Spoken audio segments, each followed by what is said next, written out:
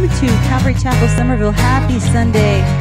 It is a good day to praise the Lord, and that's what we're going to do here in this place.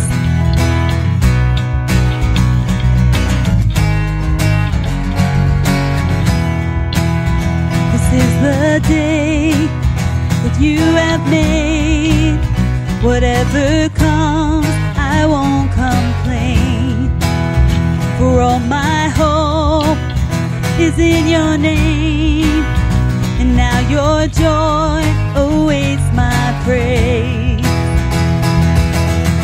I give thanks for all you have done.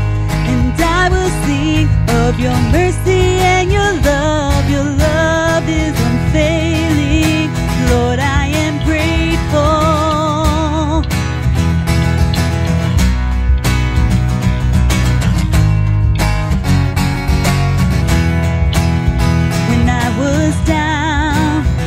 Brought me out. You set my feet on higher ground. So here I stand. You are my God. Your faithfulness, my solid rock. I give thanks. I give thanks for all you have done. And I will sing of your mercy and your love. Your love is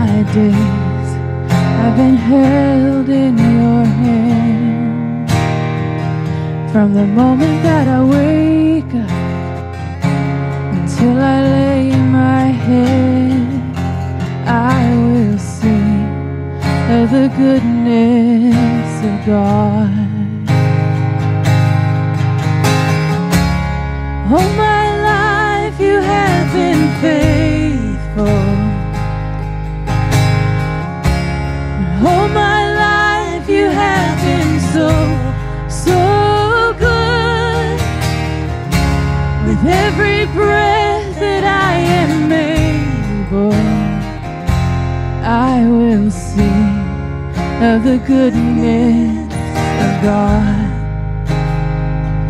I love your voice. You have led me through the fire in darkest night like no other.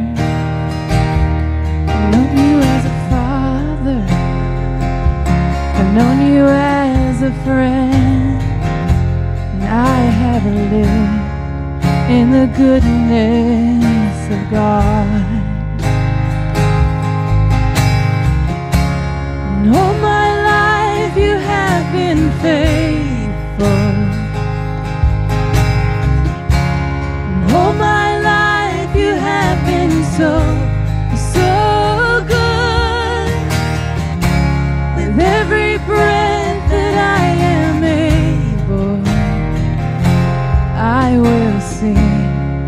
of the goodness of God.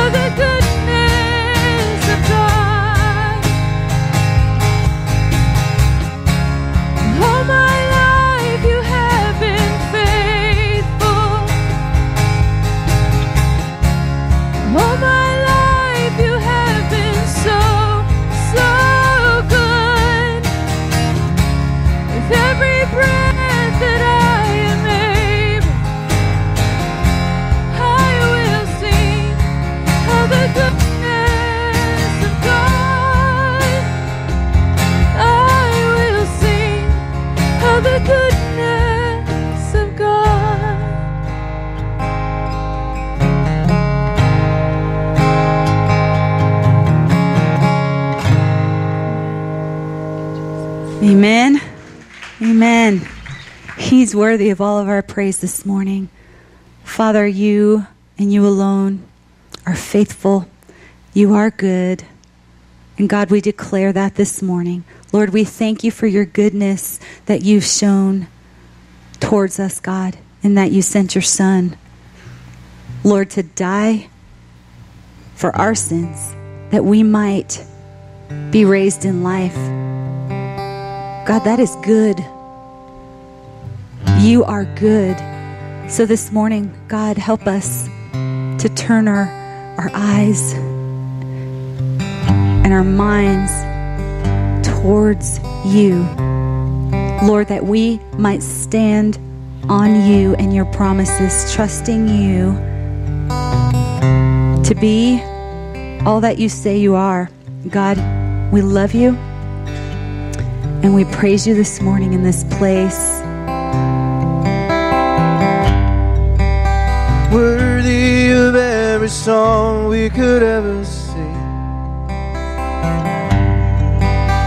Worthy of all the praise we could ever bring. Worthy of every breath we could ever breathe. We live for you.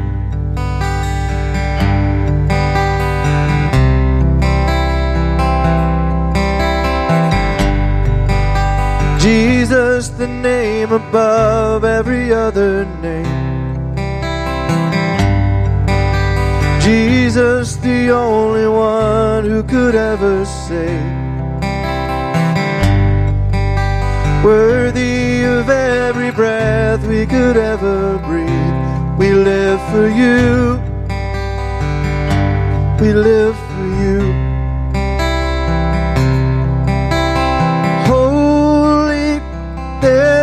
know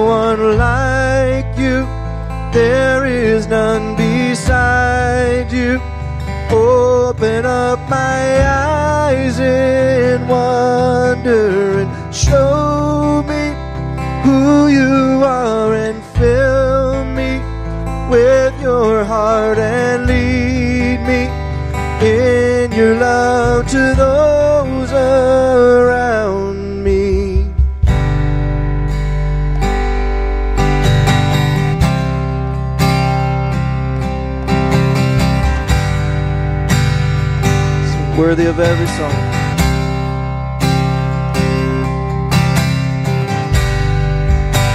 Worthy of every song we could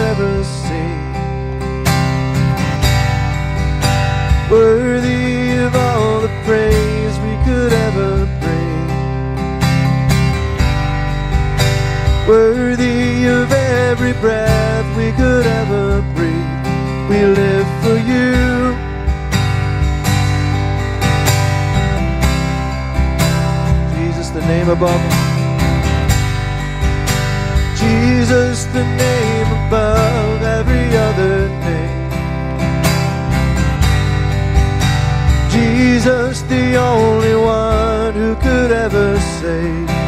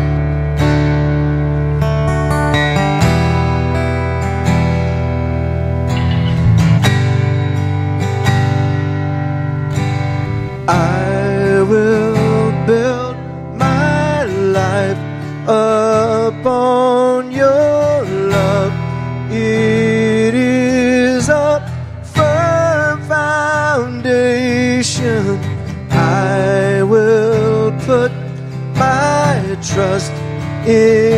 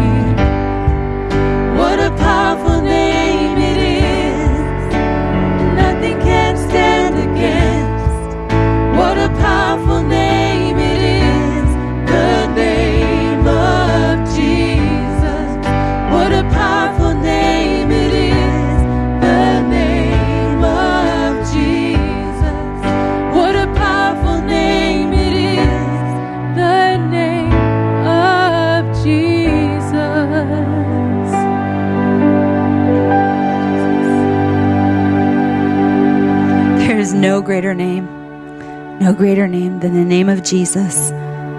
Father, I thank you, Lord, for all that you've done. Lord, I ask God this morning that you would continue, Lord, to just draw us in closer to you, that we might see your heart, your love, and your grace and your mercy, that we would be stirred, God, to respond.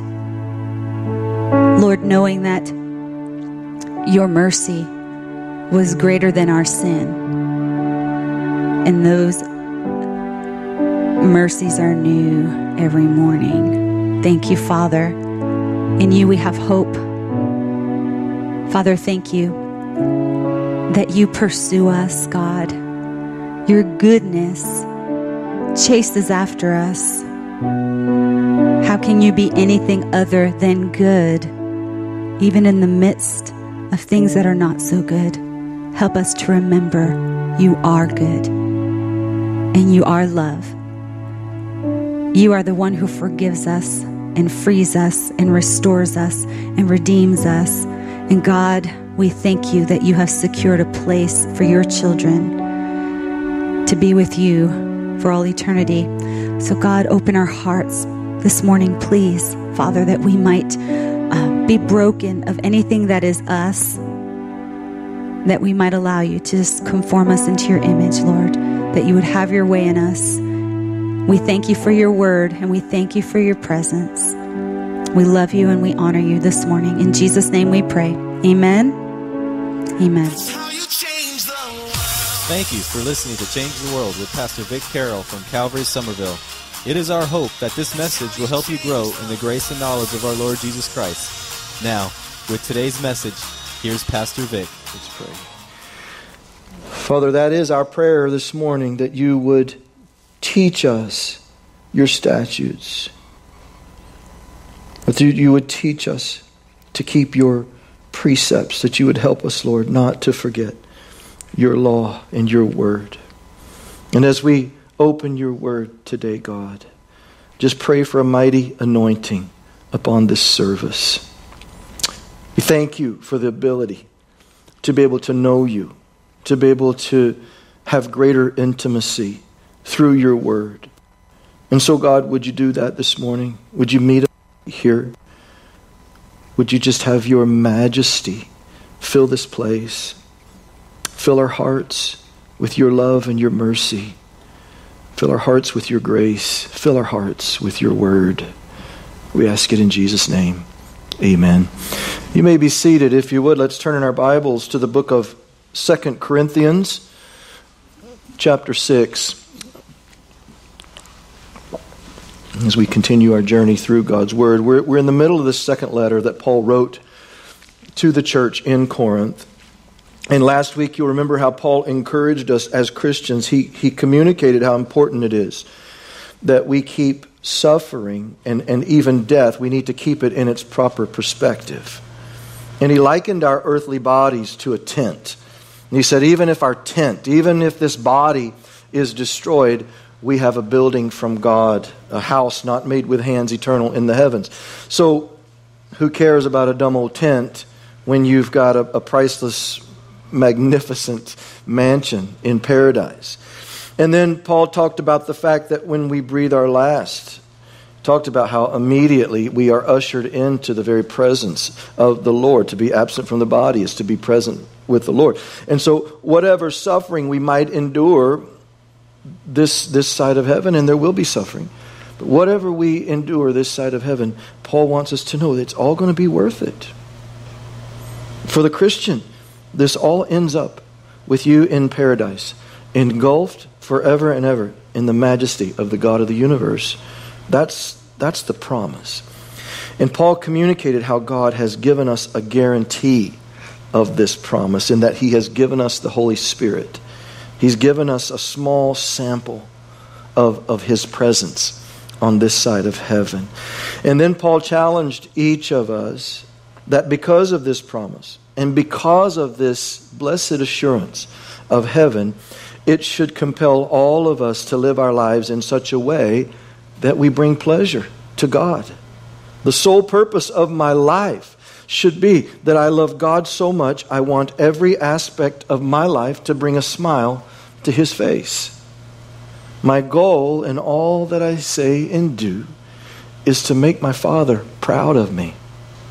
And Paul closed out the chapter by reminding us that anyone who is in Christ, he's a new creation. Old things have passed away. Behold, all things have become new. What does that mean? Well, for the believer, it's good news. It means that my sin, my past, it's all been wiped clean.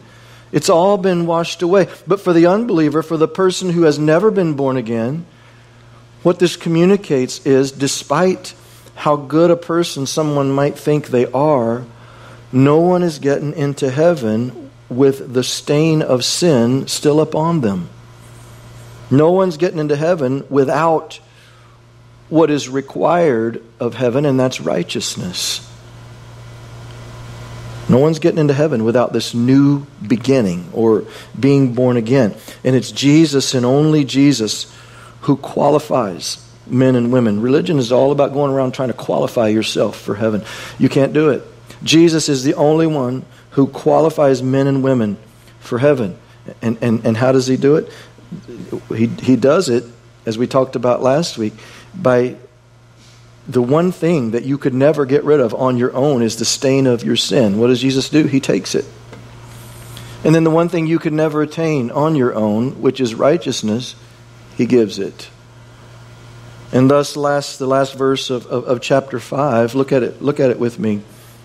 It says, For he God the Father made him, Jesus, who knew no sin, to be sin for us. He took our sin. Why? That we might become the righteousness of God in him. And so Paul continues with that in verse 6. I'm sorry, verse 1 of chapter 6. We then, as workers together with him, with God. Remember, uh, Paul talked about the fact that since we've been saved, since we've been given, um, we've been reconciled unto God, God has given us what Paul called the ministry of reconciliation. In other words, since you've been saved, since you've become a partaker of the gospel, it's your responsibility to then go and to share the good news of the gospel with others. Salvation doesn't end with you. You, you don't get saved and then bury that somewhere deep within you, you know, only to be thought of, you know, at the rapture or, or, or um, you know, at the, at the time of your death. Salvation doesn't end with you. You, you. you are to go and to share it with others. You are partakers. You are your co workers with Christ in, in that regard, Paul says. And Paul last week, he, he used the word ambassador. An ambassador is one who is sent to a foreign land as a representative of, of the king. He, he or she doesn't have their own agenda. They don't have their own voice, they are a voice.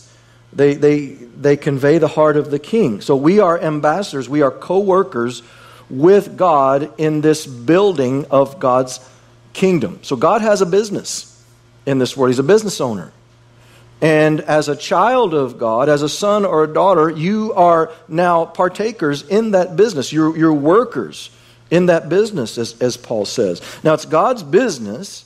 It's his, it's his work. He's the worker. We're just the co workers. We're the, the helpers. It's not that he needs our help. Certainly, he does not. But for whatever reason, he finds pleasure he finds pleasure in allowing us to help him in, in, his, in his business. It's like, uh, you know, your three year old daughter, your, your three year old daughter wanting to help you bake cookies or whatever. Do you really need her help? But you'll find pleasure in that she wants to help mommy or, or, or whatever. I remember when my kids, Lexi and Cameron, when they were little, one time I was mowing the yard. I was out back mowing, and then they both came out and asked, you know, hey, Daddy, can we help you? Can we help? And, and, you know, truthfully, what could they do other than probably get in the way more than anything? But it blessed me that they wanted to help. They wanted to partake in my work and they wanted to be uh, useful, you know, to me. So, you know, I told them, I said, all right, I'll come up with something for you to do, something that would be very helpful to me. I said, you can just go along the fence here and just pull up all the weeds along the fence as you go. Now, I could have taken a weed eater and done in five seconds what it would take them 20 minutes to do, but it brought me pleasure, the fact that, that my kids wanted to co labor with me. So I, I left them there pulling weeds. And I walked back to the mower. I got a smile on my face. You know, it's just, it brings me joy that my kids want to help. And I kid you not, five minutes later, I look up to the fence to the area where I left them, and they were gone. I'm like, what in the world? And I look to the other side of the yard, and there, there's both of them chasing after a frog. I'm like, yeah, yeah, yeah. And you know what? The Lord spoke to me. That's you. Often, the Lord calls me to a legitimate work, and He calls me to, you know, He gives me this, this awesome calling. He doesn't need my help, but He allows me. He gives me this awesome calling, and, and then I get off track because I either get bored, I get distracted by even, you know, the most mundane things in life. And, and God looks at me, and, you know, from His perspective, there I am chasing after frogs. But I, I, want you to notice here in verse 1 subtle, but I think it's important. It, but here in verse 1, what God has called us to in regards to this ministry of reconciliation, it's important to note that Paul calls us workers. It's work, meaning the fact that you've been entrusted with the ministry of reconciliation this is not, you know, I'm the son or daughter of, of the one who owns the cattle of a thousand hills, so now I get to, you know, kick back my feet in a recliner or become a couch potato or whatever. No, I'm in the family business. It's, it's work. God calls me to work. God's not going to call us to a place of ease and comfort as long as there's work to do in his kingdom. And, and work takes what? It takes commitment, it takes dedication, it takes sacrifice. A good worker goes beyond what he feels like doing. Can you imagine your employee, I mean, your, your employer telling you, hey, I need you to go unload that truck? Eh, not really feeling that today. I think I'm just go kick back in the break room. God doesn't call us to that kind of life. He calls us to work. He calls us to do things that we don't necessarily feel like doing. A good worker, a co laborer with God, doesn't get distracted by the things of the world. Paul goes on, we then, as co workers together with him, also plead with you not to receive the grace of God in vain. What does he mean? How, how can you receive the grace of God in vain? Well, there's, there's several ways, not the least of which becoming a born again believer, but continuing to live a life that's contrary to the Word of God. A Christian continuing to follow after the lusts of the flesh, uh, you know, that's, that's a Christian receiving the grace of God in vain or a person. But that's not the context here. The context here is, is all about serving, it's all about working in this, this uh, family business. And, and it's about the motivation behind why we serve and why we work in, in God's kingdom and why we serve God's people. And you know, grace and works are, are very difficult things to reconcile in our finite minds because, you know, everything that, that we are, you know, that we learn from this high, you got to earn it. You got to work for everything that you get. And, but, but grace doesn't have anything to do with works. So it's easy to get off track and get a wrong mindset of grace if we're not careful because we need to understand that God's grace is independent of works. God doesn't extend his grace to anyone because of their works, past, present, or future. But even though grace is independent of works, make no mistake about it. This in no way communicates that works are unnecessary. Works are very necessary. In fact, uh, God's grace, though it's independent of works, understanding the scope of God's grace is what should inspire us and motivate us to good works. God's grace should motivate us to godly living and, and the striving for holiness. And so, works is independent of grace, but works is a byproduct of grace. So, the point is that when God extends his grace to a human being, the point is, is that grace is not to become buried or it's not to become passive in your life. It's to be worked out. Now, we make the problem or we make the mistake of, uh, as, as selfish people that we can be, you know, we're just all about God, give me your grace. And we sing about grace and we, we receive God's grace, uh, but that's where it ends. When, it, when it when he calls on us to extend grace to others, well, wait a minute, it's a different story there. But God's grace, God's favor, you know, none of that ends with you. And so, for you to receive God's favor or God's grace and then in turn hinder it or obstruct it or deny it, then, then you're receiving the grace of God in vain. So God extends His grace. We allow that grace to work in us and through us, and, and that's how the work of God gets done. Verse 2 For He, God, says, and, and Paul's bringing into application God's word now. So he's like, don't just take my word for it. God says, quoting Isaiah 49 8, In an acceptable time I have heard you, and in the day of salvation I have helped you, because now is the accepted time. Behold, now is the day of salvation. So now that Paul has communicated the work of God, he's described and he's, he's explained this business of God, and he has communicated to you and I how we are co laborers, we are, we are workers in our Father's uh, business. What verse 2 lets us know uh, very simply is that, is that today is a work day. You're not off today. The, this job, this family business, is, is not going to last forever. And, and man, that, this was written 2,000 years ago. We can, look at, we can look at God's business today in our time, just the signs of the times, and we can recognize this family business isn't going to last much longer at all. It's all going to come to an end very, very soon. And so the point is, is let's get busy. I mean, let's stop getting distracted by the things of the world. Yeah, there's trials. Yeah, there's persecutions. Yeah, there's pain. Yeah, there's all these things. But Jesus, like, I told you about all those things. But don't lose hope. Don't lose track. Don't become a bad employee in your father's business because of these things he's already warned you about in advance. Get busy. Jesus is like, I, I must be about my father's business. Like when remember when they came, he was 12 years old. He's in the temple. Like I couldn't find him. Like where'd you think I'd be? I'm about my father's business, and that's the way we should see it. That's the way we should look at it every day of our lives. What are you doing? I'm about my father's business. What'd you think? Of course, that's what I'm doing. Co-labors just as the word has prompted us. That's, that's Paul's exhortation. Verse 3, he says, We give no offense in anything that our ministry may not be blamed.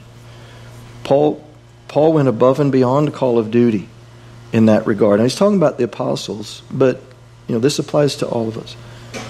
He was willing to forego and sacrifice almost anything in his life for the sake of the ministry, making sure that no one could find offense in, in his ministry. Remember 1 Corinthians chapter 9 where Paul said, "Listen, as a minister of the gospel, I deserve to get paid just like you guys do. I deserve to have all of my uh, needs met. I deserve to be clothed and, and fed.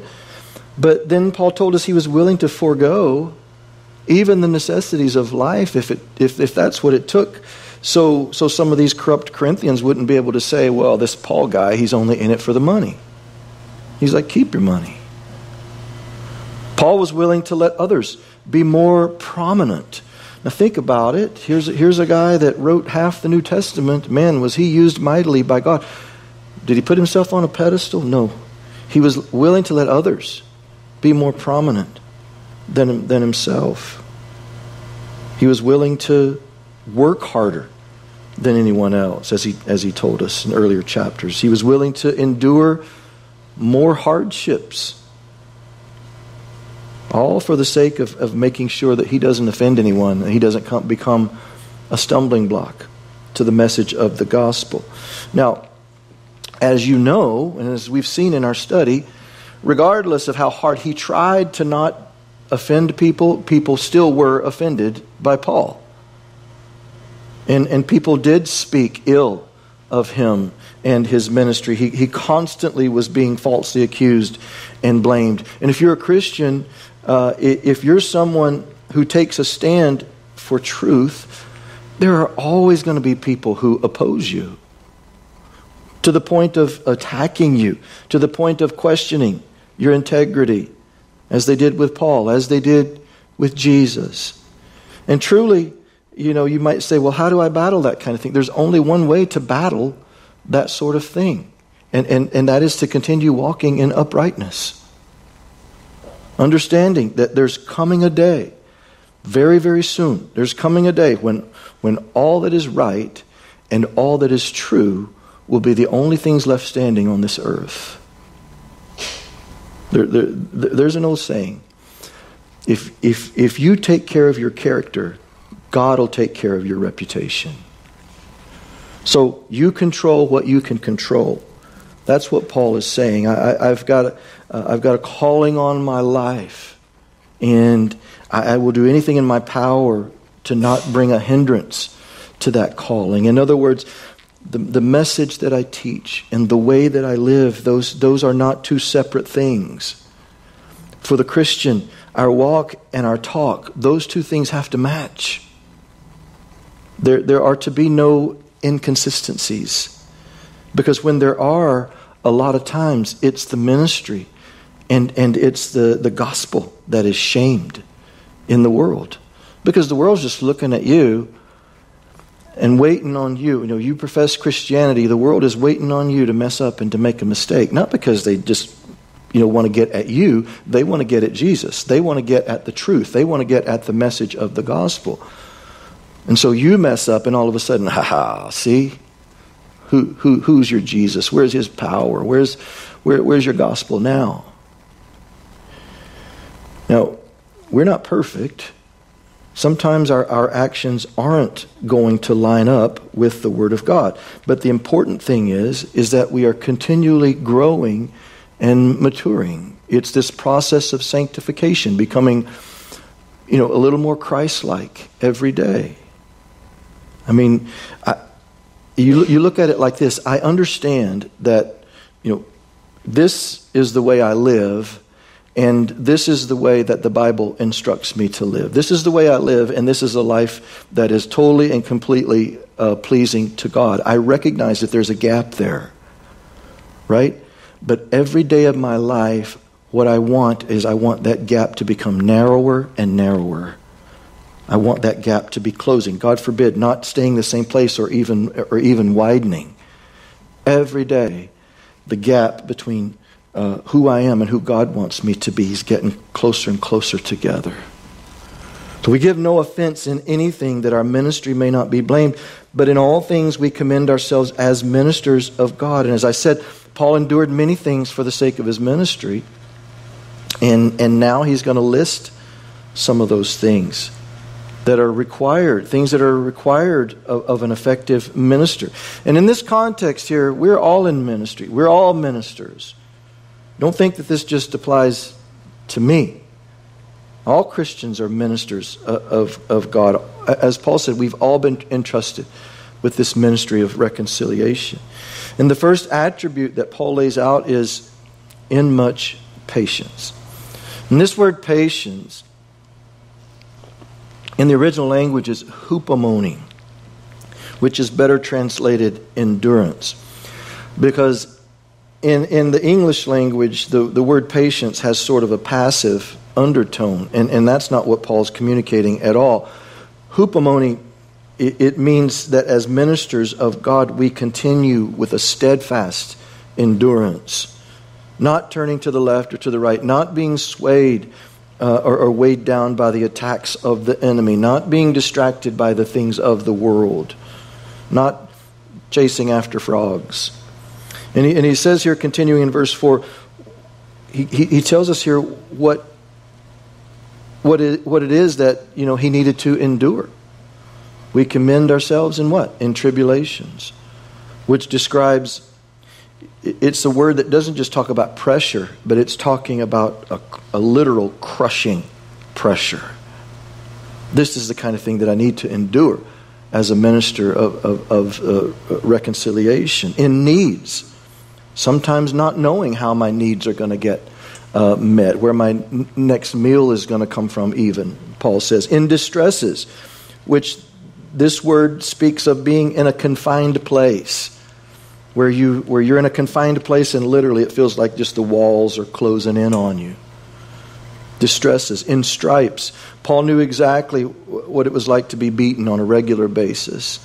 In imprisonments, he was in and out of jail constantly being thrown into prison because of his faithfulness unto the Lord. In tumults, a lot of places where, where Paul would share the gospel, most places, if, if not all, it would produce these riots. You know, me today, uh, the most I ever face is like a, an angry email or something. But you can imagine if, you, if you're the, the Apostle Paul, everywhere you go, he speaks truth, and, and what, what comes of that is, is, is this, these angry mobs that want to tear him limb from limb. So, in tumults, in labors, 1 Corinthians 15, Paul said, I labored more abundantly than they all.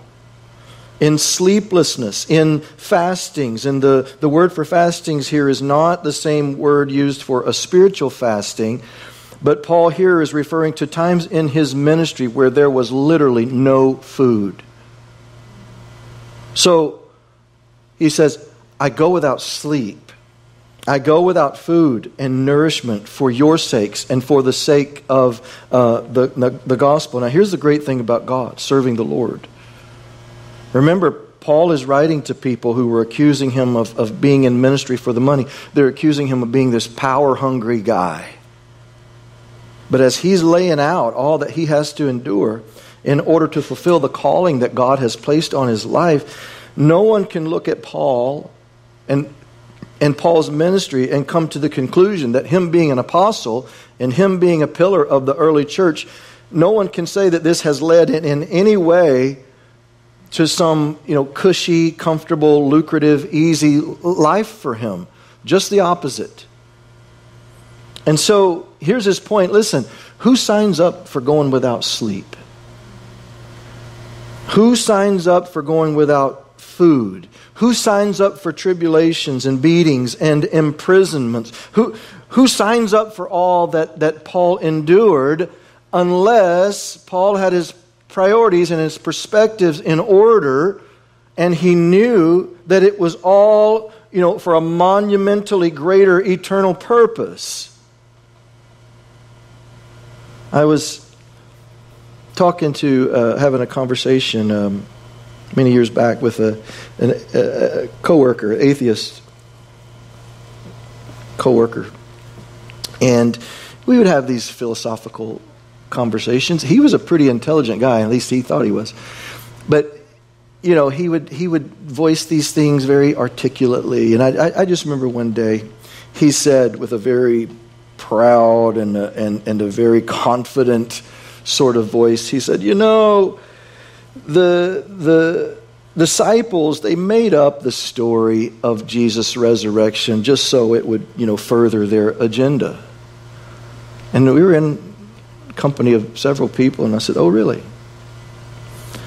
I said, was it their agenda to leave their families to be constantly beaten to within an inch of their lives? Was it their agenda to be mocked, ridiculed, and hated so much that they all, with the exception of one, uh, became martyrs? Was it their agenda to be abused, tormented, and tortured for something that, according to you, they knew to be a lie? Because that's the only way your theory holds any weight. And so here is Paul living out the words of Jesus, where Jesus said, In this life you will have tribulation. Understand that, that salvation, going to heaven is free. But to live for Jesus in this world, it comes with a tremendous price. Because since the devil couldn't destroy Jesus, the next best thing is to destroy the ones or seek to destroy the ones who follow him. Now, he knows his outcome, he knows ultimately where he's going to end up. And so, all he can do, the best that he can muster up, is to take as many of God's creation with him as he possibly can. But what you need to understand, you know, though he's going to attack you from every front, and though the world is going to come at you, this whole study of, of, of 2 Corinthians, what we need to understand, and what Paul understood, is that any price that you pay in this world for the sake of following after Jesus, any price that we pay comes with an infinitely greater reward.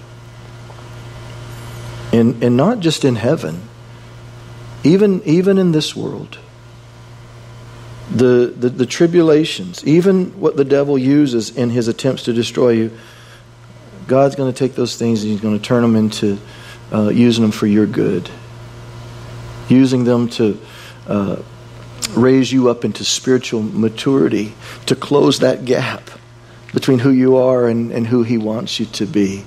You're going to use those things to reveal Himself to you more and more. And, and I mean, as God's creation, shouldn't that be our ultimate goal in life? Is just, I want to know more about God. I want to have greater intimacy with Him. I want, I, I want to have everything that He has promised His creation. I want to have the fullness of all of His blessings. So, after laying out all of the things that Paul has to suffer for Christ's sake, now he's going to list the fruit of it all. He's going to list some things that says, yeah, there's suffering, but out of it comes what? Verse 6 by purity. Enduring through trials produces holy living if you let it. It's what helps me along in my pursuit of godliness. By knowledge, through trials, I, I become more aware of who God is. I become more aware of His grace and His mercy uh, in my life, His love for me. I become more knowledgeable of how to minister to others. Think about it. I can tell you right now, I can certainly appreciate and I can have much more compassion for whatever it is that you're walking through if I have walked through it myself at one point in time. So, what do these trials do? They give me the opportunity to go and to minister to others who might be experiencing some of the same kind of things that I've uh, experienced before.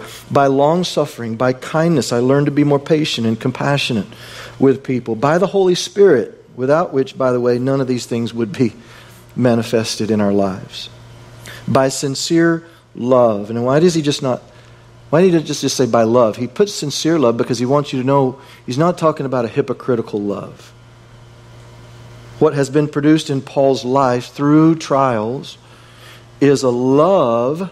How do you, how do you know it's sincere love? Well, you know it's sincere if you have a love for your enemies. You have a love for people who oppose you.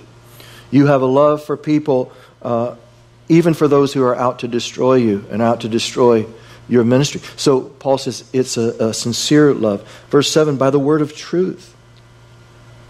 How the Bible becomes my standard by which all things are measured. It, it,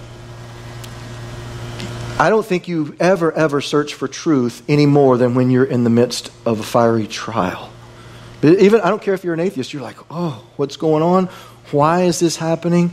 How can I get out of this? What can I learn from it? Or, or, or whatever. And ultimately, if you'll open up your mind and you'll open up your heart, what's going to happen is that trial is going to lead you to having the Bible become your ultimate source of truth because, truthfully, it's the only thing that brings peace. It's the only thing that makes it all make sense. Understand?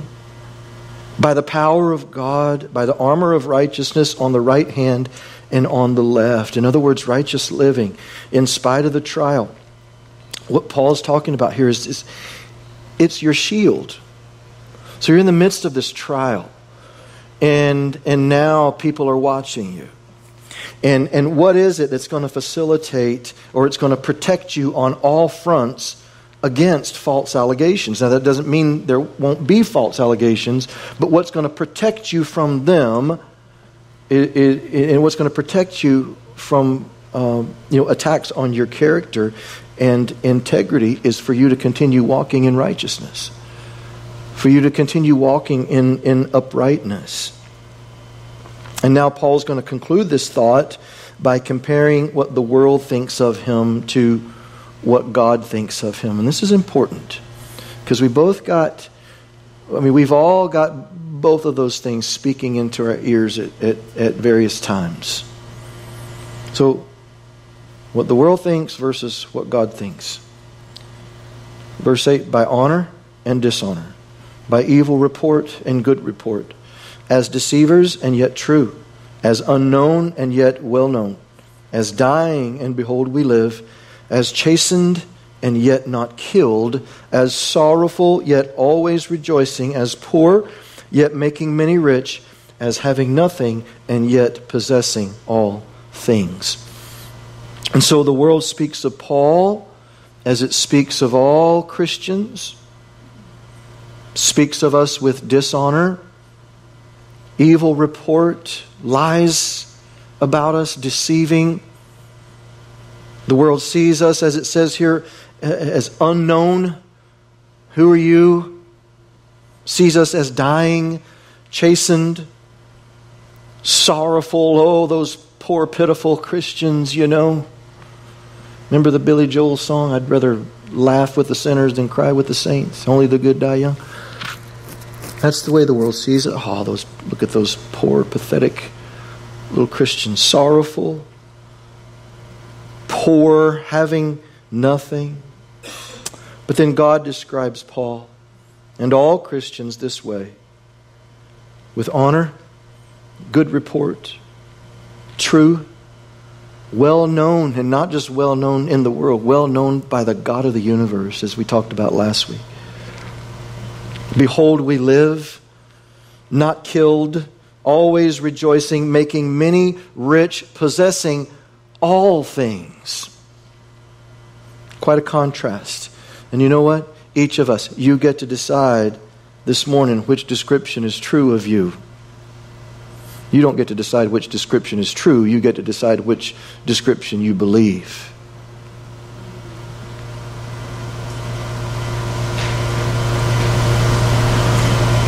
Now, according to the things which are seen, according to our sight, it appears that the world's description of us is true, doesn't it? And it's only according to the things that are not seen, according to faith in God's description. Only then it's understood to be true when it's received by faith. I believe it. And the just shall live by what? So, whose opinion is more valuable to you? Which opinion is more trustworthy? Which opinion is more tried and true and dependable? The world's opinion of you, Christian, or God's? And in verse 11, O Corinthians, we have spoken openly to you. We have spoken the truth with love. Our heart is wide open. You are not restricted by us, but you are restricted by your own affections. In other words, if there is a lack of love in this relationship, now Paul's talking about himself, the apostles, and the relationship that's been formed with this Corinthian church. And he's saying, if, if there is a lack of love in this relationship between you and us, it's not because we have withheld love, it's because you have. Now, these particular Christians, the reason they were cold in regards to their love for Paul and their love for the other apostles and their love for truth, frankly, the reason they were cold is because they had had their hearts stolen by false teachers. They had, they had had their hearts stolen by the lies of the enemy. They were believing what the enemy was saying to them and rejecting and discarding what God was saying. They have compromised truth. They've and thus they've compromised their hearts. They've compromised the very definition of love. Now you might think you love somebody and you might think you're in this relationship whatever it is spousal, friendship, business, whatever it is, you're in a relationship based on love. But if you're in a relationship based on love, that love can come with no conditions. Love is a choice, love is an act of obedience. Love doesn't come with conditions. Remember 1 Corinthians chapter 13. So, if you say you love someone, but then they don't meet up to some sort, some sort of standard that you have placed on their love, then that's exactly what Paul's talking about here. The reason that there's no love in this relationship is not because they haven't loved you, it's because you haven't loved them unconditionally. Verse 13, now in return for the same, the same love and affection I have for you, I speak as to, to children, very, very immature but I speak that you also be open. So Paul's trying to mend this relationship between him and the Corinthian church. But in order for the relationship to be mended, the Corinthians are going to have to have their hearts turned back to the truth and have their hearts turned away from anything that is keeping them from the truth and turning their hearts away from anything that has compromised their lives. So Paul exhorts them, verse 14, do not be unequally yoked together with unbelievers. And, and, this idea goes all the way back to the law, Deuteronomy chapter 22, verses 9 and 10. You shall not sow your vineyard with different kinds of seed, lest the yield of the seed which you have sown and the fruit of your vineyard be defiled.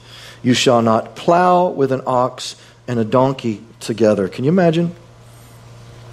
Now, if you put two oxen together, they'll work in harmony with one another. You yoke two, two donkeys together, the same. But can you imagine yoking a donkey with an ox?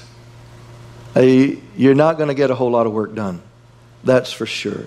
Because they're constantly going to be pulling against each other and, and trying to go in, in opposite directions. Now, if you've been a Christian for very long, you've heard of this concept and you've heard of this idea of, of you know, the, the danger of being unequally yoked.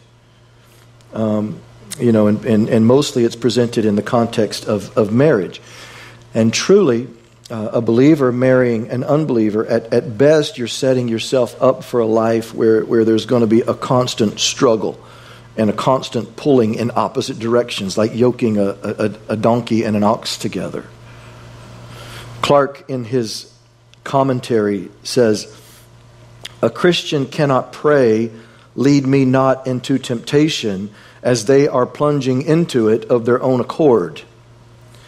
So, certainly, it is biblically wrong and it's a bad decision for a believer to marry a, a non believer.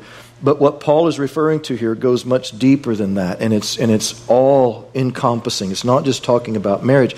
He's talking, he's warning uh, uh, against any sort of relations, whether it be friendships or, or business acquaintances, any relationship that would help influence the way we act, the way we think, and the way we believe.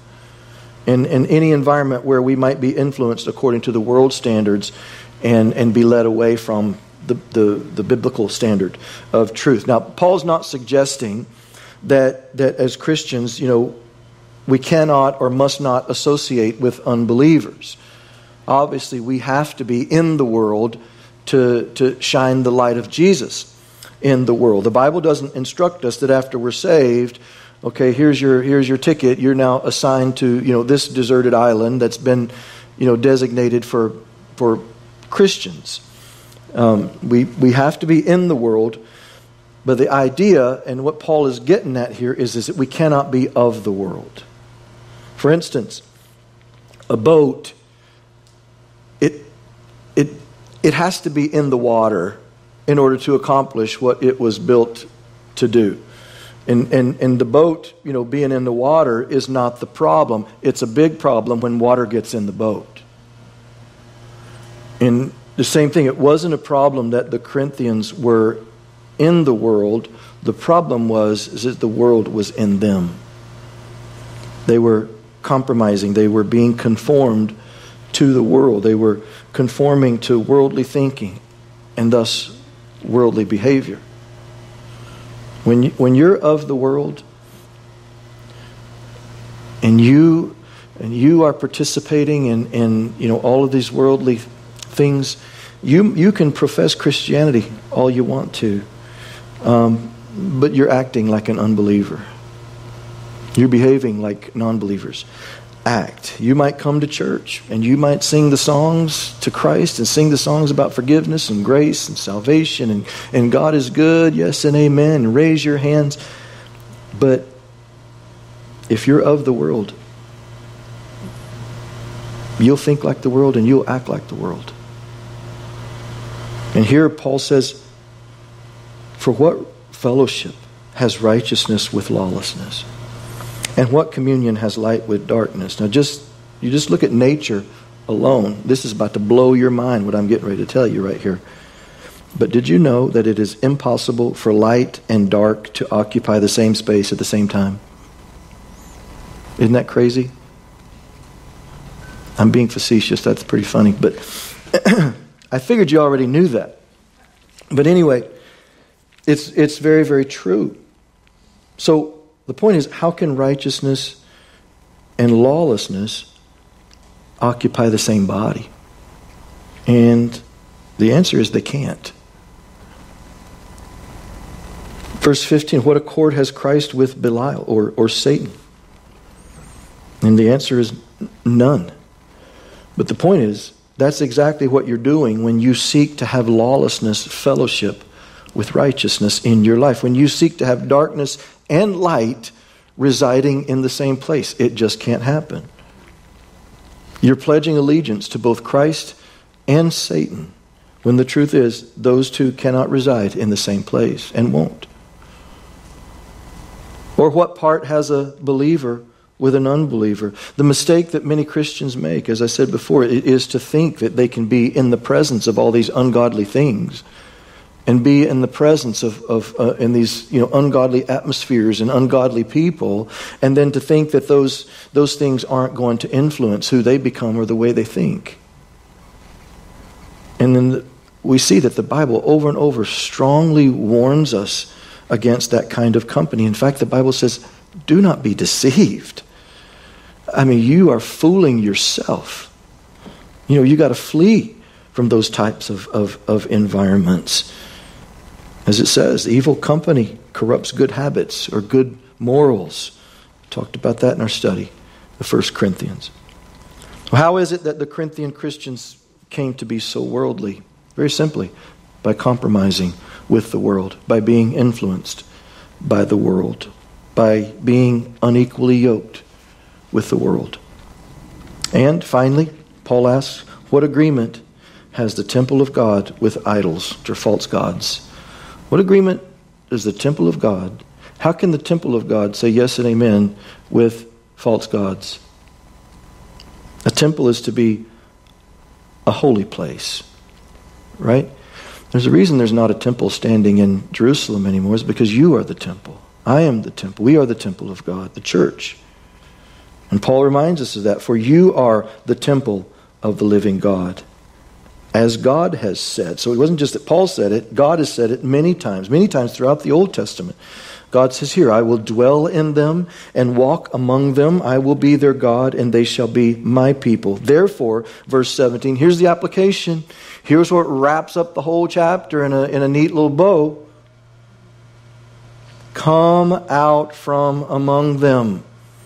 Come out of the world. Come out from among the world. Unyoke yourselves from the world. And this is very simply, it, it, it is a call to holiness. And then he goes on, and be separate, says the Lord. Do not touch what is unclean. Paul quoting Isaiah chapter 52. And so, here's the benefit of one who separates himself from the world. Here's the glorious promise being fulfilled of one who answers this call to holiness. Again, understanding that separating yourself from sin, separating yourself from the world, it's going to cost you something. It's going to cost you relationships. It's going to cause you to be subjected to criticism and persecution. Forsaking the world is going to cause you to be rejected by the world. Understand that. But Paul says to such a person, look at this. Striving for holiness is going to cost you something, but you do this. You commit to holiness, and God says, I will receive you. Not only that, I will be a father to you, and you shall be my sons and daughters. Says who? Says the Lord Almighty. And this word Almighty is, is, is the ancient Greek word pantokrator, and it means the Lord who has his hand on everything. So, what do you get for forsaking sin, forsaking the world, unyoking yourself from anything or anyone ungodly? What do you get for answering this call to be separated, consecrated unto God, separate from the world? What do you get for answering this call to holiness? I'll tell you what you get the one thing you should desire more than anything, and that's greater intimacy with God. Awesome, majestic intimacy with the God of the universe who created you for that very thing. And to the same degree that you walk in holiness, you experience God as your loving Father. Why doesn't God love me? Why doesn't I reach out to God and God, He just won't answer and I just want my Father? Well, are you walking in holiness or do you have compromise in your life? Now, this is not about salvation. God becomes our Father when we trust in Jesus Christ as our Savior. But listen to me this morning God cannot be a Father to us, He cannot treat us as His precious sons and daughters until we separate ourselves from sin and separate ourselves from the world.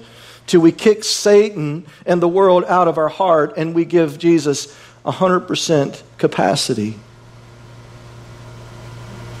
I like how Warren Wiersbe puts this in his study. He says, Salvation means that we enter into the Father's life, but it's separation that means we enter fully into the Father's love. John 14, 23. Jesus answered and said to him, If anyone loves me, he will keep my word, and my Father will love him, and we will come to Him and make our home with Him. So God desires that you would come into the fullness of His life. He desires that you would come into the fullness of His love, that fatherly love. And to me, that's the greatest blessing that a human heart can experience this side of heaven. Deep, intimate fellowship with the God of the universe. All facilitated by making Jesus Lord of your life and then living that life in such a way that the world has no influence on it whatsoever. Let's pray. Father, we bow before you. We offer you our praise, our thanksgiving. We offer you ourselves.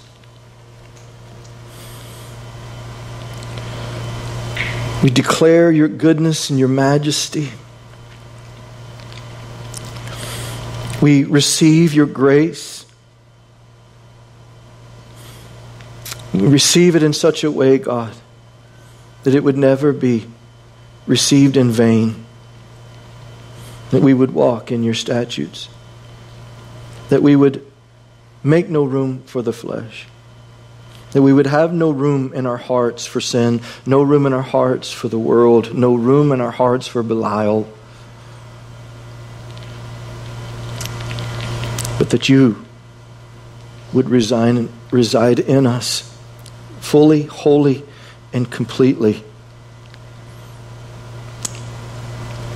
That you would be that loving, gracious, awesome, beautiful Father that you desire to be to each of us. We love you. Again, we praise you. It's in Jesus' name we pray. Amen. If you need prayer, I'd love to pray with you after service. If you've never accepted the Lord, I'm here to pray with you. Pastor Sean, Pastor Ben, Pastor Jason are all here. Don't forget about our prayer service tonight here at uh, 6 p.m. Uh, here at the church. So come out for that. Remember, there's no midweek service this week uh, in observance of Thanksgiving, but we do have our Thanksgiving uh, meal here planned for the church at 1 p.m. Uh, so we'd like to, I think we had like seven, 75 people last year or something. We want to break that record this year. So invite, invite, invite, and um, come and enjoy uh, fellowship with your family, your CCS family here. Next Sunday, uh, 2 Corinthians chapter 7. So go ahead and read forward on that. Let's all stand and we'll close.